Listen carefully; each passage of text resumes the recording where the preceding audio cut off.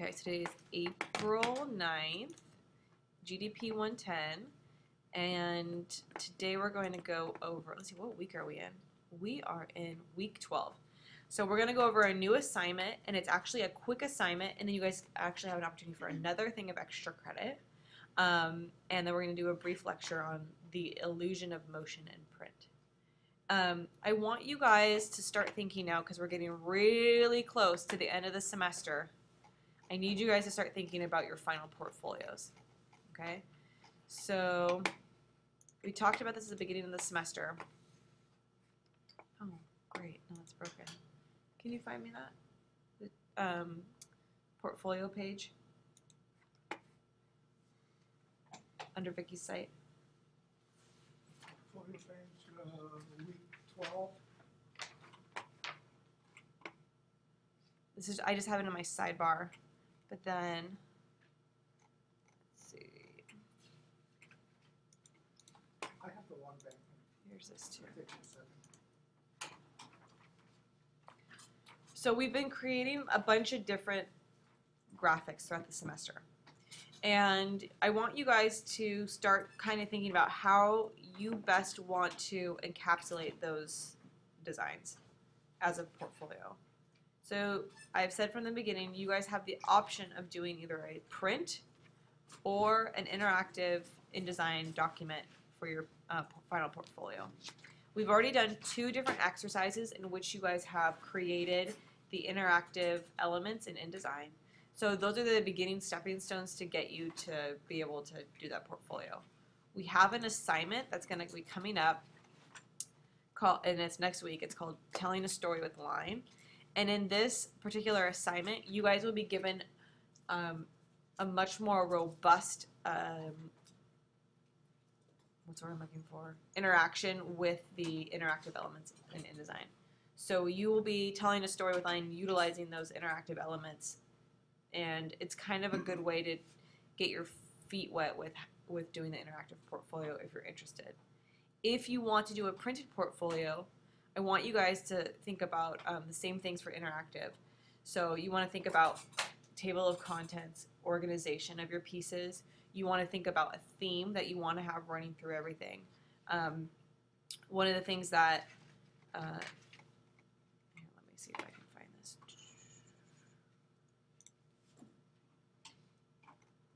One of the things that's going to be helpful for you, and I think maybe I'll just open this up so you guys can start to look at the final weeks because we're co- coming up really close to the end of the semester. We really only have a month left, so it's going to be pretty fast. Um, so you have to think about the organization of your content. Okay, how easy it is to navigate. Does it make sense to go from one page to the next?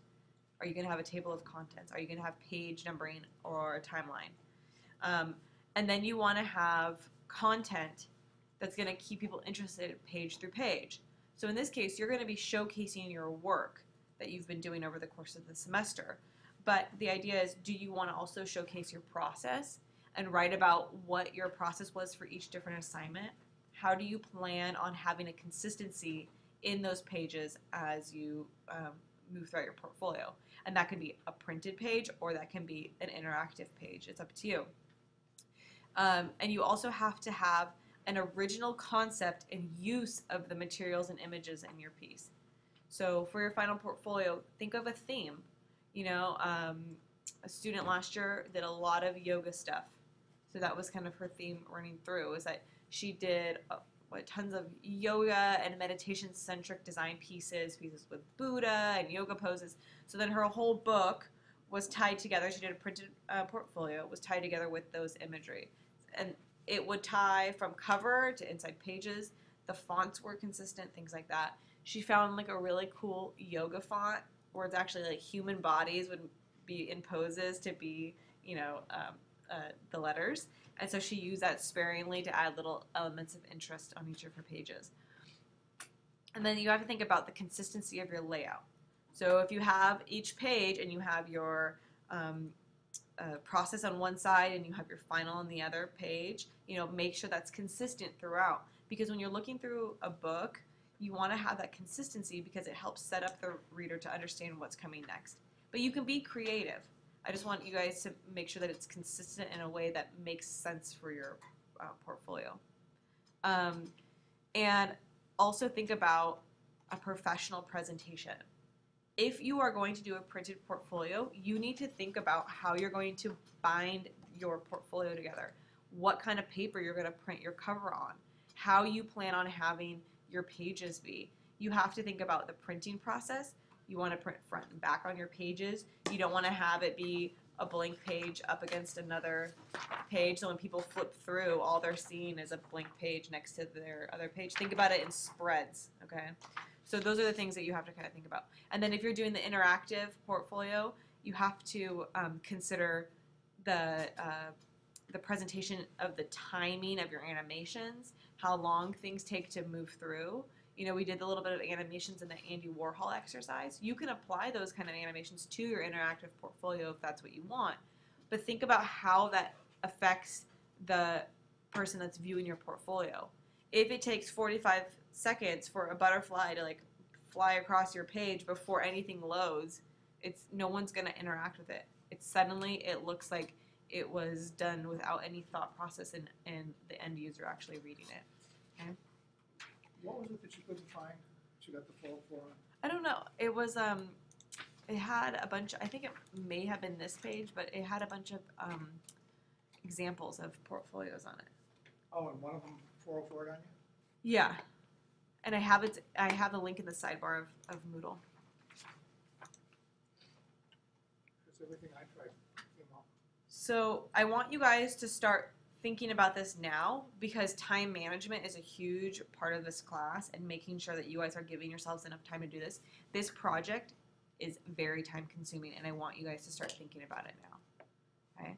Um, and in addition to that, you know, we are in this class, we're learning about all of the basics and elements for design, but it's also about understanding how to define a message and how to communicate, you know, that message visually. And you guys each have kind of found like a little niche maybe something that is consistent throughout all of your pieces um, and maybe that's something that you hang on to and continue to use that in your in your messages. So start thinking about that now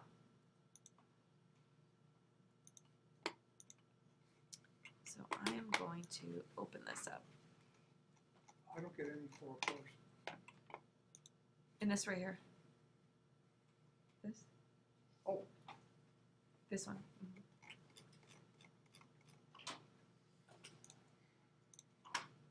The other thing that I mentioned in the beginning of this semester is that I'm doing things a little bit differently this year, and I'm actually going to bypass the actual day of the final. Because what we usually do is we have the portfolio due, and then it's due that day, and people don't really stay for class all that long. And then we meet again the following week and we do our presentation. Now I'm going to ask that you guys turn your portfolio in before class on the last day of the actual class day, and then we're going to do our presentations on that day. And so then we don't actually have to meet for the day of the final. So that's cool. So we're kind of finishing a little bit early. On your, uh, link, there's a capital D in the URL. If you change it to lowercase, it'll resolve Okay, cool. Can you do that? Can you make that edit? right there. Oh, pff, perfect. Okay, so let me. Just go ahead and click on it and Okay, well, hold on. I wanted to change.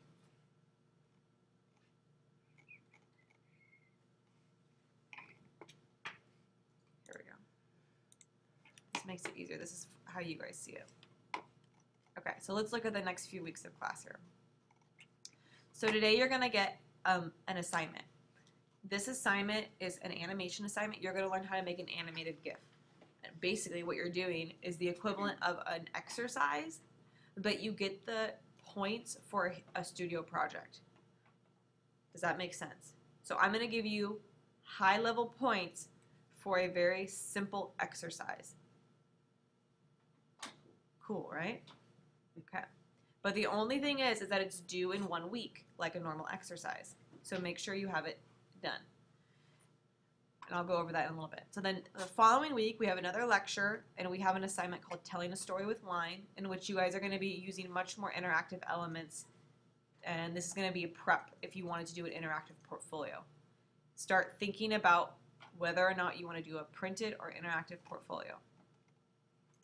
Then we have week 14. We're not going to have a guest speaker. Week 14 is when you're going to be assigned your final portfolio project. Okay? So then you have the following week to work on that only. Then on May 7th, this is going to be our final day of class. This is when your portfolio is due at 5 o'clock, and then you're going to present in class. So um, on April 30th, I want you guys to be prepared to spend the entire five hours in class. Because if you have something that you need to work on for your portfolio, this is your opportunity, your last opportunity to get feedback and help from us. We have the ability to bind here in the um, little DAC lab in the teacher room. The only way to bind is a spiral bind. Can I actually use, can I grab this for a second? Yeah. So it's essentially something like this, or it's a plastic spiral bound. It's not very sexy, right? Or really all that creative, but it is an option. So if you wanted to do a printed piece, you could bind it with a spiral binder. And I can show you how to do that, and that would be a good opportunity to do that that week. Yes, Sean? The index also has instructions on how to use it. Yes, it's and I can show you too. It's really it's quite simple.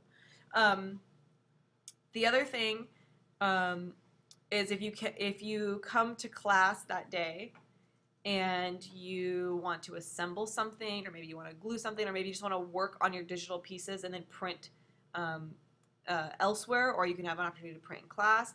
Just come to class with an idea already established and the basis of that work already kind of set. Because if you're just now working on your portfolio the one week before it's due, it's a little, yeah, it's a little sketchy. You're gonna need more time than that. And I know this from experience with other students. Okay? So I try to make this glaringly obvious. Final project is due May 7th at 5 p.m. No late portfolios are accepted. If you do not have it turned in on time, you will not get graded. This is a standard protocol across all of the classes.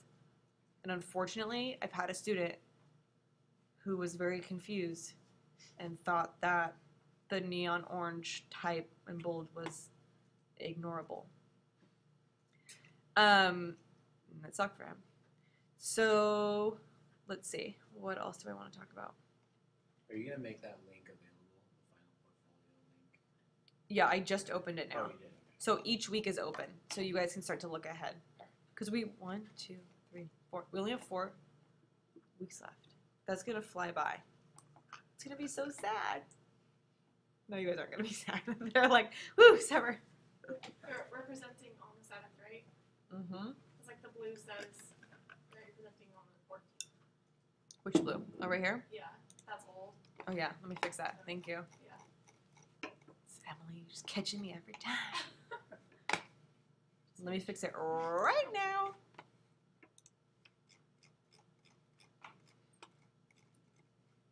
So just to clarify though, if you do a print portfolio, you don't have to turn in an You electronic one, or you still do? You still do. Okay. You know how we do like um let me show you an example actually. Let me fix this first. I want to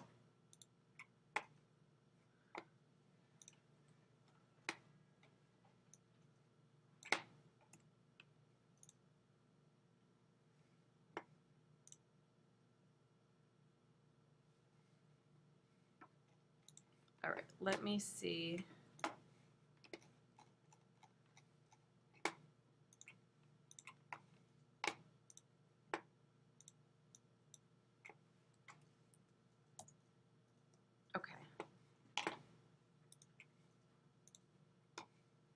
For your printed portfolio, what you have to do is turn in a PDF like this, where it actually um, is very similar to the documents that we do for um, our normal assignments. You know, so you'll have a cover and you'll have the information, but it will it will be your printed portfolio as PDF pages but you also have to include a photo of your final bound piece.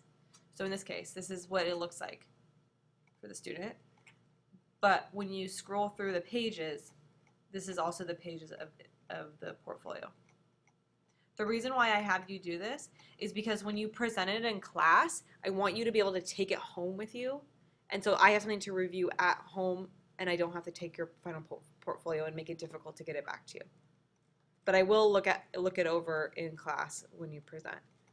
Just to look at things like how it's bound, how professionally it's put together, you know, make sure that you don't have like glue marks and tape and it's like a, a mess, you know, I want it to look nice.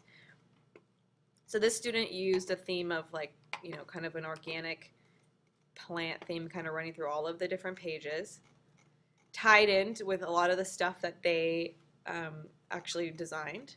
See a lot of organic um, shapes and plants and animals.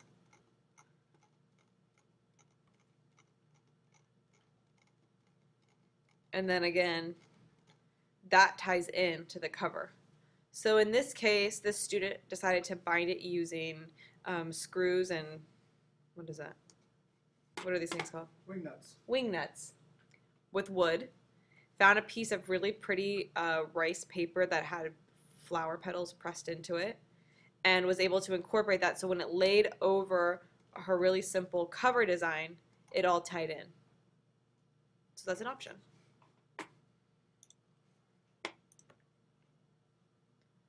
So here's another student's work.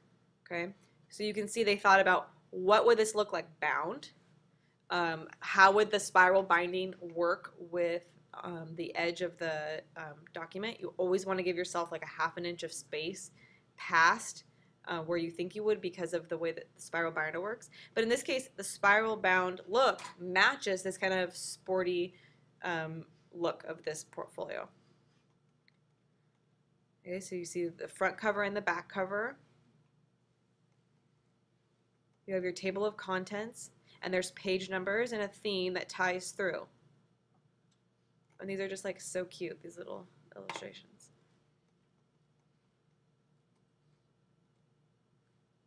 And so you can see like his dog and hunting was a huge influence in um, his stuff. So he continued that theme. Here's his dog right here. So you guys can pull stuff like that out of your work.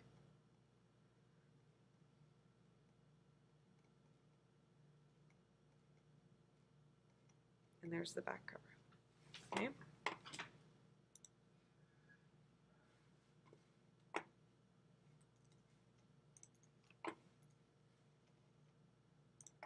So then here's an example of an interactive portfolio. And this is what you can do utilizing the interactive portfolio options in InDesign. So you know how we did um, the but we made buttons in the different exercises. So if you click the button to go left or right, you could click through that multi um, object, multi-state object. Well, you could click that button and hit skip, and it would skip the animation process. And then each of these are a button. And what this does is it either opens up a window and it closes it down. Okay.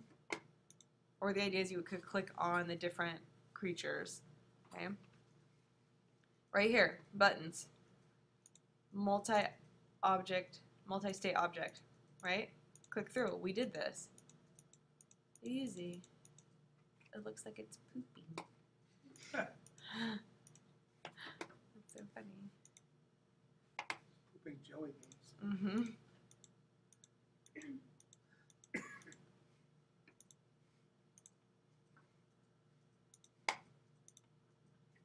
All right, so you guys can see how it all works.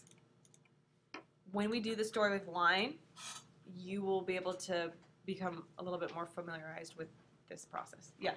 Just as an aside, that entire portfolio could be output through Adobe Edge and be uh, visible on iPads and Windows desktops, That's cool. anything. Today. Today. Okay, so here's another example, and this one's cute because it's giving you instructions on what to do. So you always want to think about user interaction and usability. So if it was just this tree, would we know that we would need to click and roll over those? Maybe not.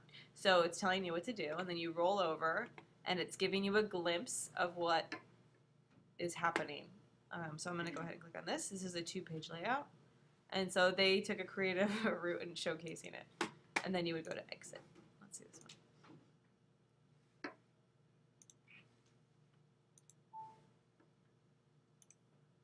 So you can see for this example, you don't necessarily have to have your process involved with your portfolio, but it's something to think about. If your process was a huge part of your learning experience here and how you um, came to end up doing your final pieces, maybe you have that in. Maybe you showcase your sketches. You can make it as um, uh, personalized as you want. But you need to have all of the assignments in there. Hi, Liam. Sorry for being late. Um, is this for the final, is this the final project? This is the final portfolio. Cool. And so just having you guys start thinking about it now. You want it to be interactive? It can either be interactive or it can be printed. Okay? And I'm I haven't officially assigned this to you yet, but I want you to start thinking about what you want. Do you want it to be printed? Do you want it to be interactive? And what your theme is going to be and how you're going to carry that out. Because this is going to be due very quickly. We only have a month left of class. So just I already said this to everybody, but we're, we don't meet for the final. We turn everything in at five o'clock on May seventh, and then we present in class, and that is our last day. Okay. And you cannot turn it in late. Okay. Other note: How many of you have outstanding assignments, or um, you've resubmitted assignment for a higher grade that I have not yet graded? Okay.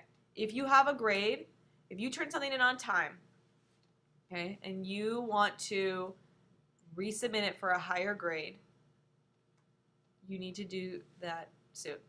So in our syllabus, there were two cutoff dates for submitting um, stuff for a new grade. I'm going to pull this up.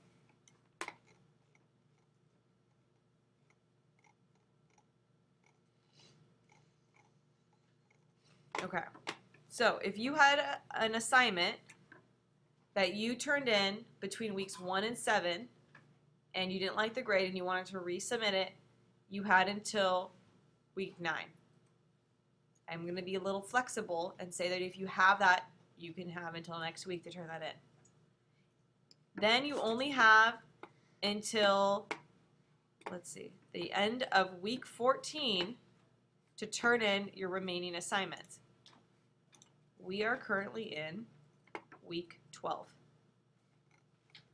Yes, Liam. So week ten to thirteen, you can redo and turn in by fourteen. Yes. Okay.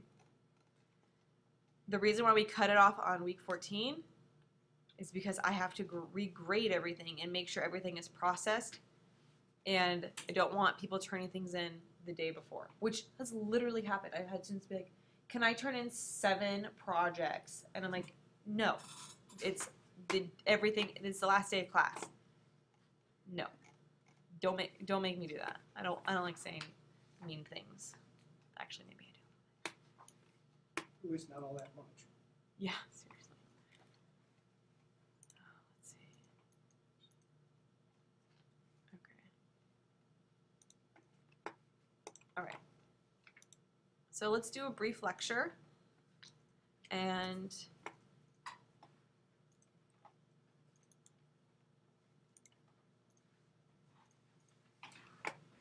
I don't know how to do that. Why isn't this working? Try refreshing the page.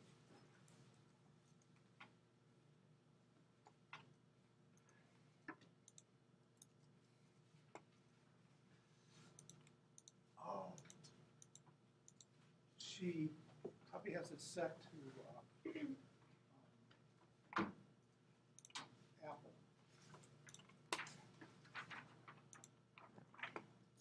What do you mean? It just, Chrome isn't seeing the codec, I- I Okay. believe. Let me open Safari or something else.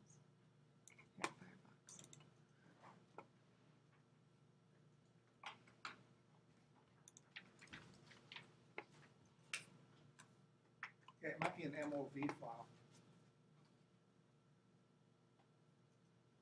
What?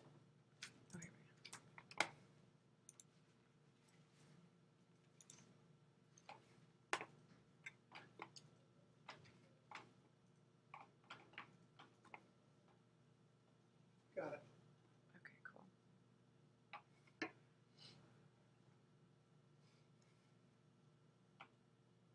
Okay, we're going to watch a short video.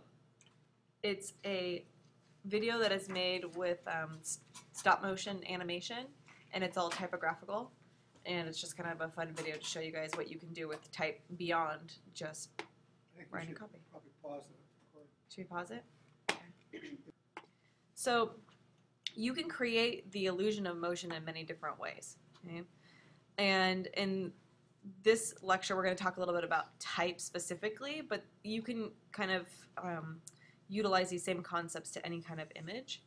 And the reason why we're talking about this is because sometimes you want to create a little bit more of um, the experience of um, movement for your next assignment, which is your animation movement, because you're gonna um, animation uh, GIF, because you're gonna have limited um, ability to utilize actual animation. So maybe you want to take some of these um, ideas here and utilize those to create more of a, an animated look. We also have our story with line that's coming up, and you may want to have um, the idea of motion be more of a, a printed look. So if you think about illusion of motion using type or any other kind of graphic, if you think of um, something moving away from a central axis, that kind of creates tension and calls a little bit of um, attention to the design, which creates the illusion of motion. So if you were to have type that's, um, say, italicized and it's kind of leaning to the right, you could utilize that to create like the feeling of motion or something moving. Because you think about you know the force as you move forward um, in a car you're kind of pushed back a little bit. Same thing can be utilized uh, with type. So anything um, that's kind of leaning uh, whether it's an image or italic type gives the illusion of, of uh, movement again if you have stuff moving away from a central axis if you have a piece uh, like like an image in the center of your format and you have stuff that's kind of moving away from that maybe like a sunburst or you have lines I know in Lydia's um, uh, tutorial, she talks about you know you have like those lines that you created and how you broke them up, and those um, directional lines that were moving away from an object help to create that illusion of motion. Um, and then if you have type that you've moved off an imaginary horizon line and it's kind of spread around the page, that also creates the illusion of movement because when you move type off of a horizon line or off of like a set baseline, um, what happens is just like with any other design, if you were to do that as well, you have a natural path that your eye kind of follows around your piece. And so when your eye moves around the piece, you can automatically start to capture kind of the illusion of, of motion that way. Um, so this is a little blurb here. When designing a magazine or book interior, the designer has the opportunity to move text and images through space. As the reader turns each page, uh, there is the opportunity to surprise. So unlike a static poster like uh, book, uh, jacket, or poster, or any of those things, pages can function in the same way that film does over time and space. So you can build tension and kind of unfold and create a story with that motion by engaging somebody in in a, in a book. So you guys can do the same kind of idea with your portfolio. If you want to draw somebody through a story, you can think about a way to um, kind of do that page by page as the reader kind of turns through your pages. Um, and then you can also establish the illusion of motion by setting up a repeated pattern and then breaking that form. Um, because we tend to read from right to left, and if we have a similarity, we see something that's um, uniform, kind of break out of that, it causes us to pay attention and focus on that more. Okay, so shape can also contribute to the illusion of motion. If you move away from symmetry or you have kind of odd shapes, um, it will bring the reader's eye around the page. Um, a perfect example would be something like, where's my little pen? Would be something like the placement of a shape close to the edge of your page. So if you have somebody that's facing this way and looks, has the illusion that he's going to walk off this page, then you kind of ha- have that feeling of motion as well. Same thing can be said if you have some somebody facing this direction. How does that affect the illusion? Is this person going to be walking in that direction? So placement on the page and kind of how you utilize shapes um, also can add to that. Okay, cropping. So that's kind of we talked about there. If you crop something in, you crop somebody close to the, the edge, you can get uh, achieve that sense of motion. And then the next is sequencing. So if you have um, a sequence like this image here of this boy jumping, these are all static images that are capturing motion, but you can see how the sequence translates into motion. Okay. And then last but not least, we have kinesthetic response. So it's a science of movement. And when we kind of engage with a piece and kind of imagine what the movement is like, then we can um, tend to base our experiences around that and say, okay, this is a moving object. So we can kind of compare to what our personal experiences are to an image. So there's a lot of different ways that you guys can kind of capture motion. We're going to be creating an actual animated GIF in this class using Photoshop. And for this assignment, this is what you're going to be doing. A little rocket ship.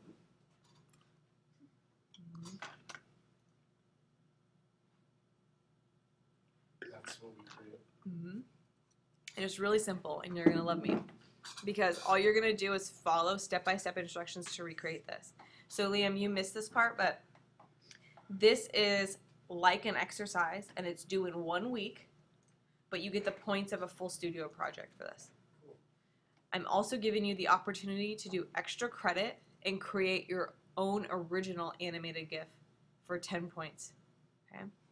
So I'm gonna, let's do this together. So this, uh, what is it called, the root beer thing? Is that only one day? Cause that's, I have night class that, Yeah. that Monday, so is But- it like a one-time thing? It's a one-time thing. Sorry, Liam. Oh well. Okay, so what you guys are gonna do is you're gonna open up this page with these step-by-step instructions. Step by step. Beep bop boop boop boop. You're gonna download the example animation PSD. And you're just gonna follow the instructions to create it.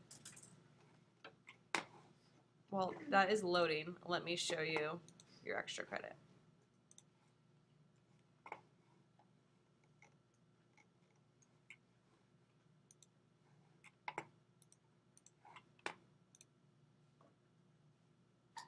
Okay, so you're gonna take all of the skills that you've learned from this little rocket ship exercise, and you're gonna create your own animation using your own original artwork, illustrations, or photography. Okay, it's due by one week from today. Okay, by five o'clock. What's no? I need to change that date. That date's wrong.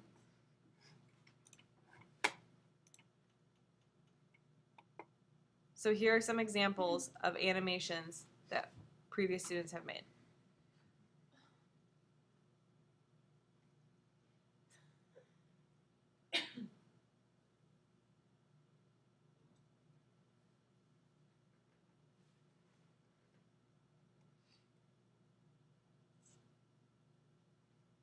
Those are cool. Mm-hmm.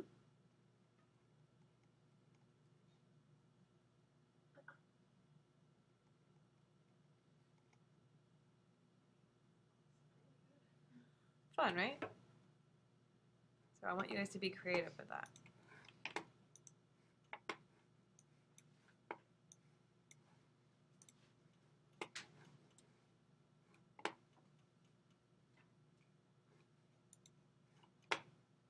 Okay, so you're gonna open up this uh, PSD that's on that page. And what I want you to do is go to Window and go to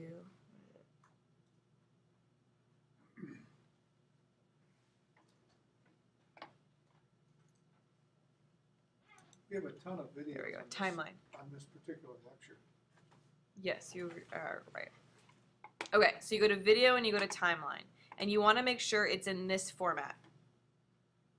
Can you see how this looks down here in the very bottom? How'd you get there? Window, video, timeline? Window, timeline. I called it a video timeline.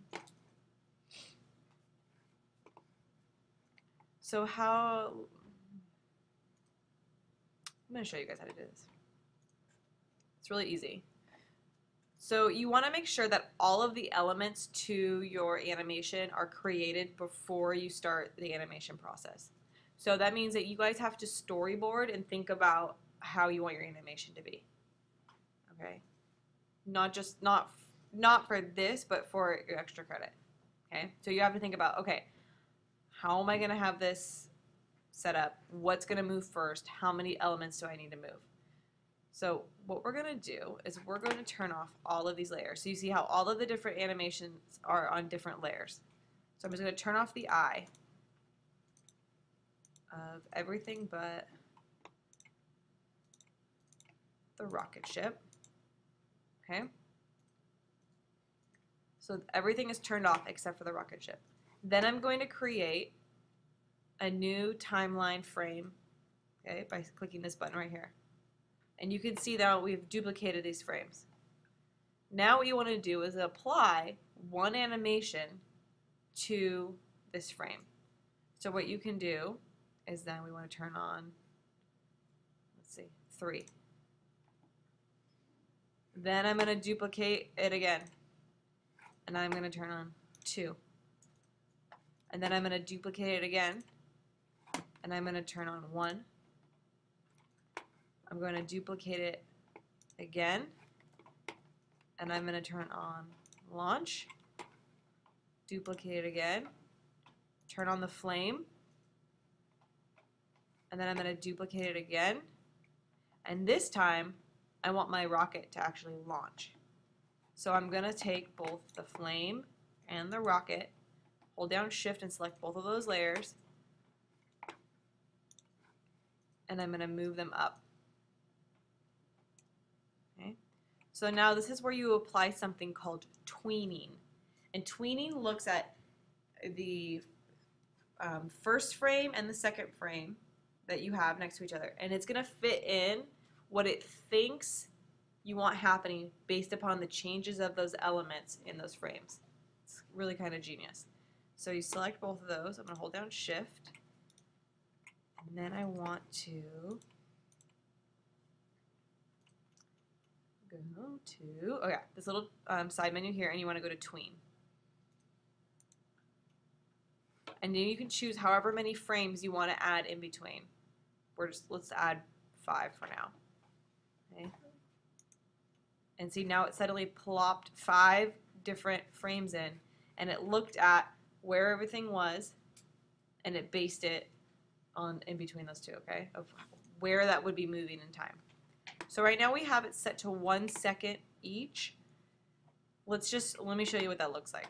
Yeah, so I'm gonna hit this play button right here and it's gonna play this for you.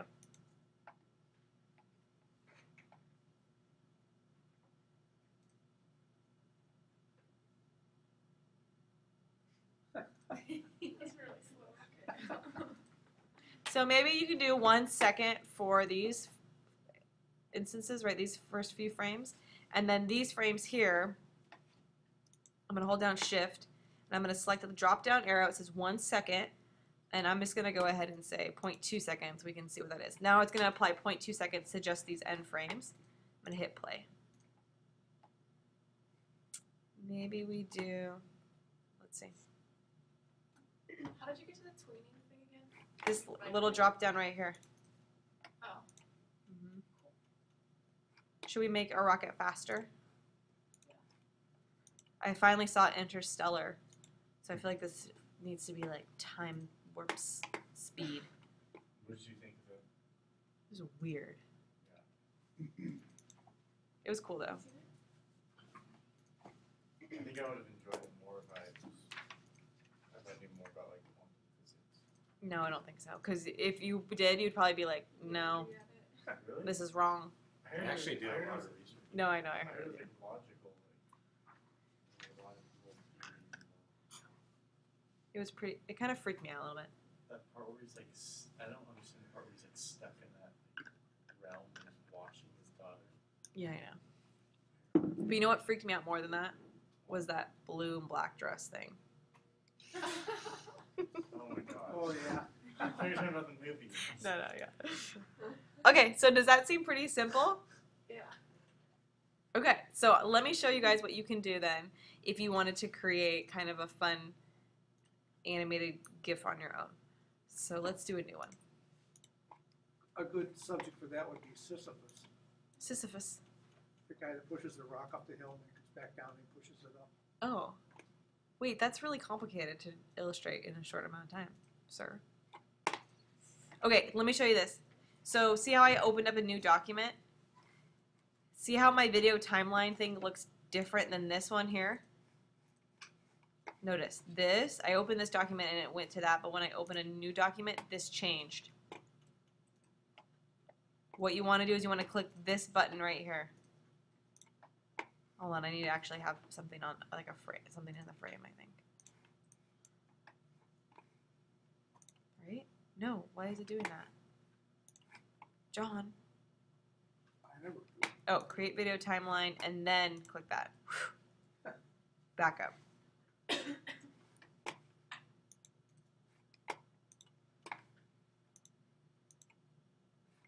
Do that again.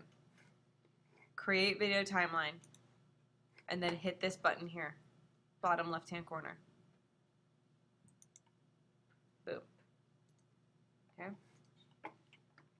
So, like I said before, you want to make sure you have all of your animation, all of the things that you want to animate already animated and different moving parts on different layers. So, let's just do something really simple here. I'm going to do. Oops, that's not what I wanted. I wanted. That was not the tool that I wanted.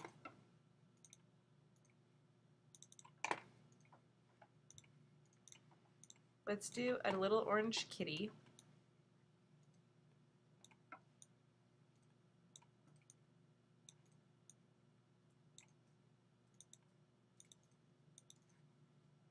Okay, there's my base kitty kitty, right? New layer. Kitty's tail. New layer two. I'm just making sure I'm doing this on a new layer each time. Kitty's tail. Kitty's tail. Let's do another layer. Let's do kitty paw. Kitty paw. Kitty paw. And then on this other layer, we'll have kitty leg. And then we'll have another kitty leg that moves. Okay, so it seems like a lot of stuff happening, but you have to do it like this. You have to think big picture, what's going to move. So now let's turn off everything that we don't. We need that leg.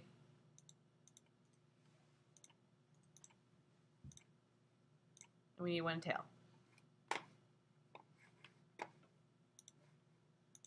Let's see, where's my kitty? Legs. Yes, Liam. Instead of clicking the layers when you're like selecting them for the timeline, can you just select the actual designs in the box in the graphic? Yeah, so if you have like your arrow set to auto select, if you click something, then it will turn it on like that. You guys know that? Probably not. So if you have it auto selected, then when you, if you click on an area, it will automatically select that particular layer. Right, so I'm gonna click the tail and then, But that won't select something that's turned off. no. But the idea is that you wanna make sure that you, I'm gonna turn this off for now because the idea is you wanna turn on only the eyes in your layers, so it's just easier this way if you, okay? Okay, so here's our kitty. New frame. Turn off that kitty tail. Turn on that kitty tail. New frame. Turn off that kitty tail. Turn on that kitty tail. New frame. Turn on that kitty tail. Turn off that kitty tail. New frame. Turn that one off. New frame. Leg. Turn off this leg. New frame. That one on. This one on. All right, let's just see. Right now it's set to five seconds. That's way too long. We're gonna give our kitty. Let's do half a second. See what happens. Oh, hey, little kitty. Yay! So it's pretty fun, right? So you guys can be really, really creative. If you wanted to, you could even say, do the idea of like having your kit, kitty like move off the frame. But just know, let me show you what happens. If I do another frame and then I take my kitty and I move kitty. Yeah, let's let's do something else. Let's move kitty's tail. If I move kitty's tail and then I hit play, sometimes what happens is kitty's tail may mess up somewhere down in this timeline area. Or if you go back and you say, no, I need to move this tail a little bit here. Oh, let's see now what what's happened.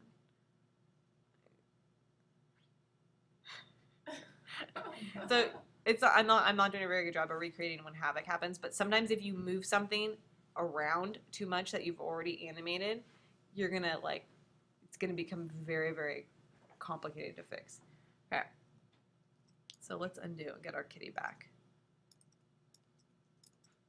Oops, I gotta set this up. Window history. Okay. So then what you do is you go to File and you save it for the web. No, or we're gonna do it. We're actually gonna do it as a, a animated um, GIF or GIF, whatever you prefer. So I'm gonna go ahead and I'm gonna save it, and you can see here it gives you drop down options.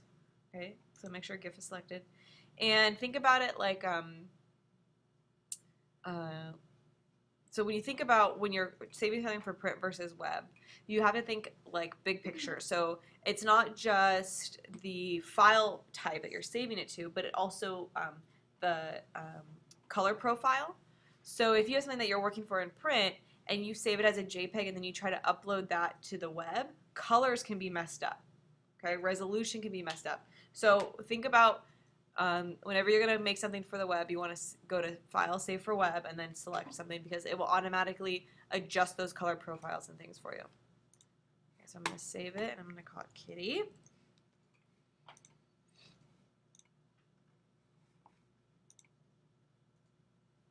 So you could place this animated GIF now on to a website. Um, you could put it in, I don't know. All the cool kids are playing with animated GIFs these days. So what you can do then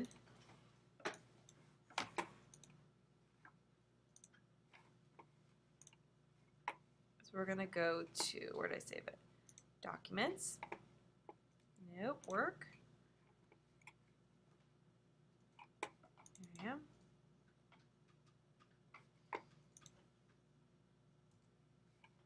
We're gonna find kitty, and I'm just gonna click and drag my kitty GIF right into an empty browser window. Oh, there's Kitty! so good. How do you get it to keep looping? Oh, that's thank you. So you can set it to loop right here, three times forever, in this little drop down.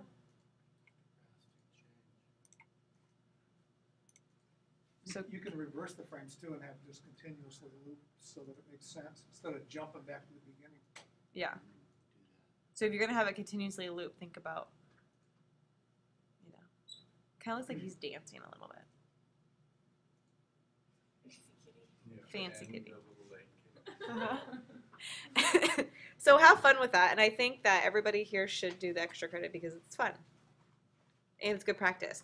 So in real world instances, you know, I use animated gifs for web banners for work. That's primarily what I what I end up doing. Um, let me see if I can find an example.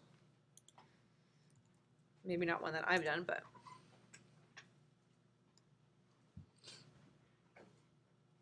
So we'll do paid online ads that will run sometimes on NewsHawk, and you can make these animated GIFs, and then they can rotate. Hmm? Like right here, little thrift store truck that's moving. Do you prefer those over Flash now? Um, I uh, they're easy to do. I don't have Flash on my computer at work, so it's simple, easy to translate, and Plus it works on iOS. plus it works on iOS. Plus most of the people that we send it to, like they know what to do with it. So, yeah. Another plug here for Edge Animate. mm-hmm. You can make some really cool stuff using Edge Animate, as good as Flash, really. Cool. Okay. Do you guys have any questions for today? So let's do our critique of um, the two-page layouts that you guys have. And Liam, you missed this, but um, there was a little snafu in the deadline. Did you turn in your two-page layout? Okay. So I accidentally had it set to be due like the 23rd or something. So some people rushed to get it done because they thought they had more time. Um, so we're gonna have do a critique today, and then if you guys want to do changes to it and re-upload it by next week, then you have an opportunity to make those changes before, and it won't be considered late.